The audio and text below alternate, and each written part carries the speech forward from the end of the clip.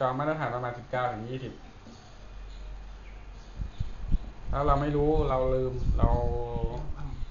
เรานับพลาดหรือว่าลืม เรามานับตรงนี้ปมอืมอืมอืมปมฝั่งนี้คือเลขคู่ปมฝั่งนี้คือเลขคี่อืมหนึ่งสามห้าเจ็ดอืมทางนี้สองสี่หก